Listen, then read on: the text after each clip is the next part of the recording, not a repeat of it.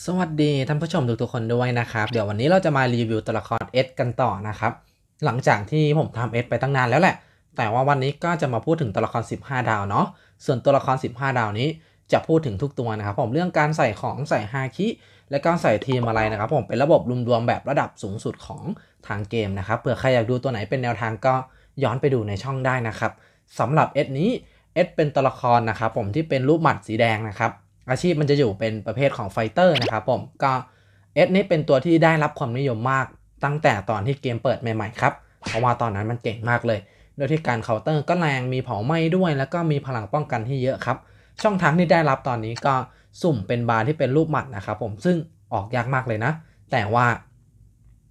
ใครที่เป็นแบบสุ่มหาซาโบนี้ก็ค่อนข้างที่จะได้หลายตัวอยู่แจงแต่จริงๆอะตัวที่เป็นแบบนานมาแล้วมันจะออกยากนะครับแต่ยังไงก็ตามหากัน แต่จากแพ็คเขียวออกง่ายมากนะครับ อันนี้แม่งแป๊บแป๊บเอสโผล่แป๊บแป๊บเอสโผล่นะครับผมก็หรือเราจะได้รับจากแพ็ค L1 นะครับเหมือนเดิมเลยตัวละครทั่วไปที่มีมานานแล้วเนี่ยจะมีในแพ็ค L1 ด้วยนะครับเฮ้ยแอบอัปเดตไอตัวของบุ๊กเข้าไปแล้วนี่ว่า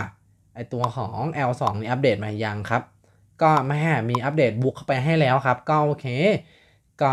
แป๊บเดียวเดี๋ยวโดฟาก็จะมาแล้วนะครับสำหรับ S ของเรานะครับผม S เป็นตัวละครเดี๋ยวขอดูพื้นฐานตอนที่เป็นเลเวล250 แบบ ทั่วไปก่อนนะครับ S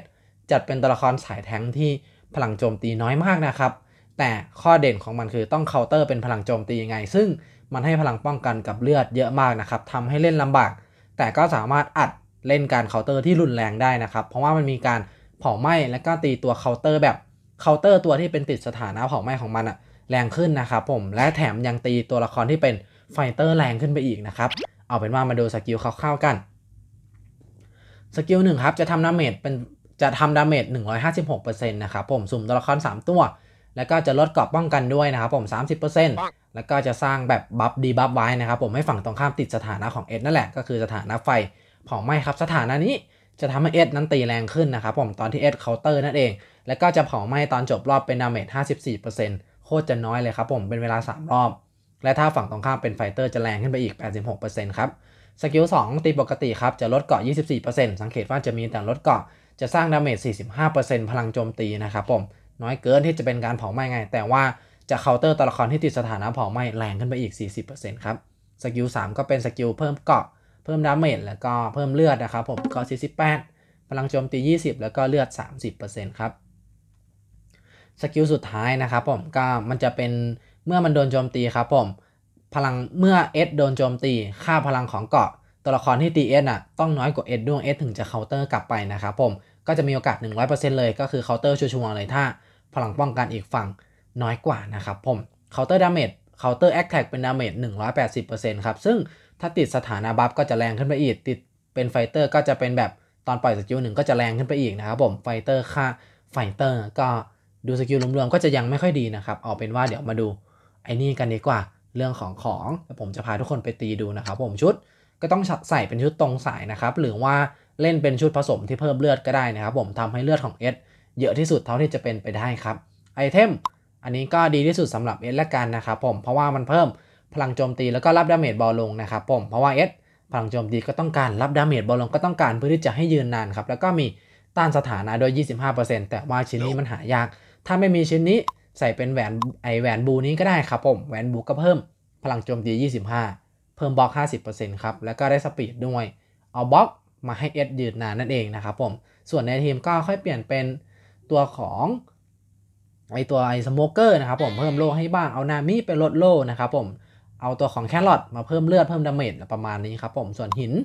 หินก็ต้องใส่เป็นหินถ้าเอาให้ดีอะใส่เป็นหินเลือดกับบล็อกก็ได้นะครับผม แต่ว่า ที่รีผมไม่ค่อยเยอะผมขอจัดเป็น true damage เอสก็เล่น true damage ได้นะครับผมเพราะว่าตอนเคาน์เตอร์ไปอะมันจะได้แรงขึ้นไปอีกนะครับผมก็ถ้าจะให้แนะนำจริง ๆ ใส่เป็นหินเลือด แล้วก็เป็นบล็อกนะครับผมหรือจะเป็นทูนาเมตแบบนี้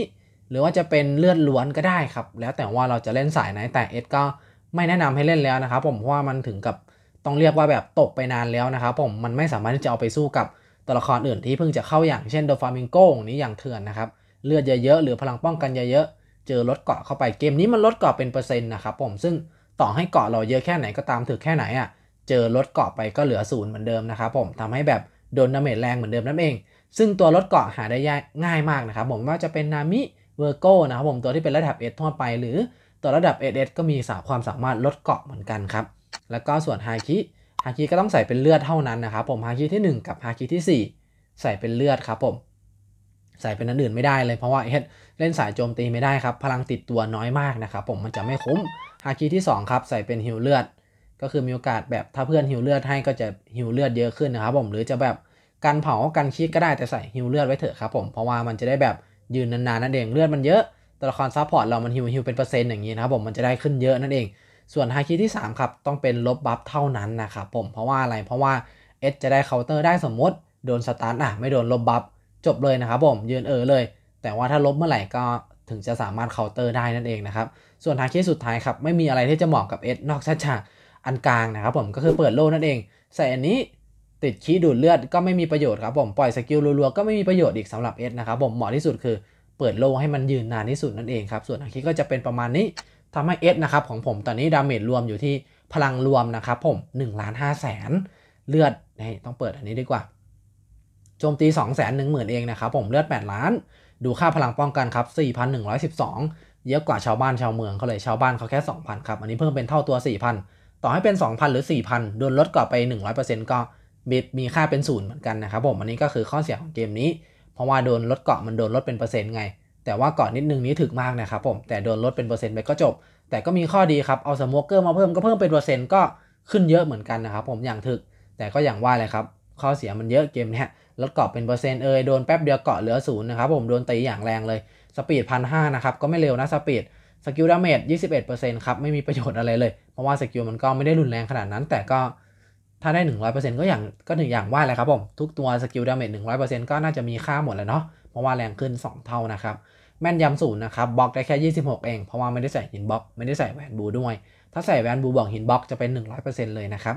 critical 21 ครับ คริ damage 0เจาะเกราะ 0 ครับ ต้านสถานะ 30 รับ damage เบาลง 45 บวกกับตอนจัดทีมไปอีก 10 เป็น 55 ก็จัดว่าโอเคครับ แค่นี้ก็ยืนได้นานแล้ว แถมยังมี true damage อีก 30%ครับ จริงๆ damage น้อยอะใส่ true damage มันก็ไม่คุ้มหรอก แต่ว่าครับ เราเอา true damage ไปเคาน์เตอร์ตอนติดสถานะเผาไหม้แรงมากนะครับ จะแรงจริงหรือเปล่า ไปรับชมกันเลยครับ ผมว่ามันจะแรงแค่ไหน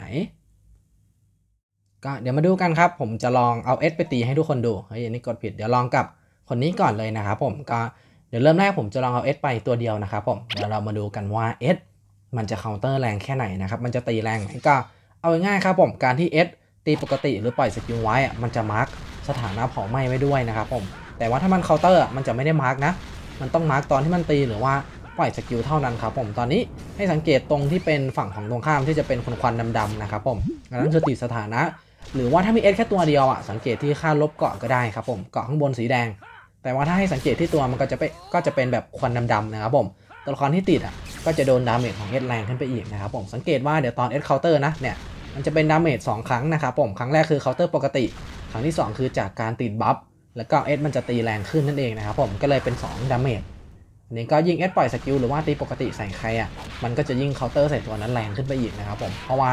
ตอนปล่อย skill ก็ลดเกราะไปด้วยแถมเคาน์เตอร์แรงขึ้นไปอีกแถมมี buff อีกนะครับผมก็ถือว่าสุดๆ แต่ก็อย่างว่าครับก่อนมันจะตีโดนแต่ละตัว skill ก็โดนแค่3นะครับผมตีปกติก็โดนแค่ตัวแถวหน้าครับ ซึ่งเอาไปเล่นทีมระบบที่เป็นแบบ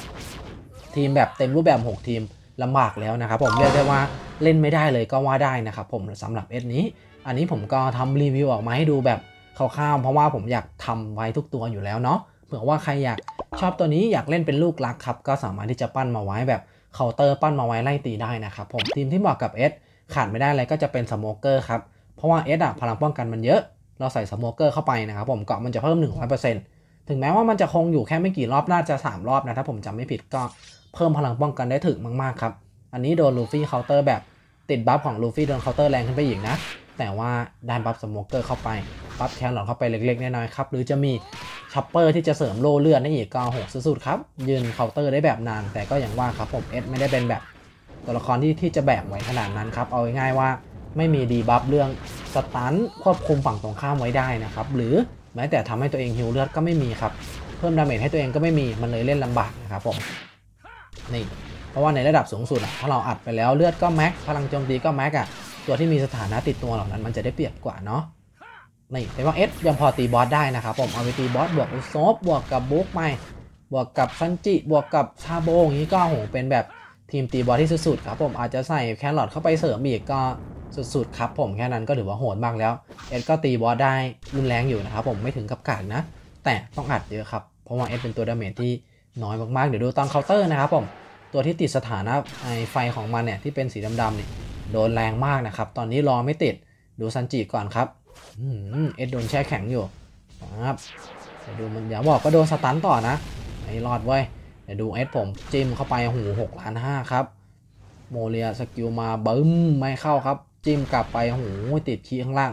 ไม่ไม่ใช่ cri เนี่ยตีปกติไม่เข้าครับ ปล่อย skill หูอย่างแรงเพราะว่าตีปกติเมื่อกี้มันก็ทำการ buff ไว้แล้วนะครับผมตีปกติก็ buff ปล่อย skill ก็ buff นั่นเองเนาะก็ประมาณนี้ครับสำหรับเอสอาจจะไม่โดดเด่นมากเพราะว่ามันเป็นตัวละครที่แบบผ่านไปนานแล้ว แต่ก็อย่างว่าครับ เดี๋ยวขออนุญาตแปะลงทุกตัวไว้ให้ครบทุกตัวในช่องเลยละกันเนาะ ส่วนทีมมันก็จะเป็นประมาณนี้เสริมช็อปเปอร์เข้าไปอาจจะใส่เป็นโดฟายนะครับที่ตอนนี้แบบมาแรงติดกระแสมากนะครับผมเป็นอูซอมก็ได้ที่ขาดไม่ได้ครับโซโลซาโบงนี้ก็ได้หมดนะครับผมเป็นลูฟี่อะไรก็ได้คู่ซันนะครับผมใส่ได้หมดเลย แล้วแต่ว่าเราจะประยุกต์เล่นสายไหนแต่เอสไม่แนะนำหรอกลูฟี่ยังดีกว่านะครับสำหรับคลิปนี้ใครที่ดูแล้วชอบใจนะครับฝากกดไลค์กดแชร์กดติดตามให้ผมด้วยนะครับคลิปหน้าก็อย่าลืมมารับชมกันใหม่ด้วยนะครับผม สวัสดีครับ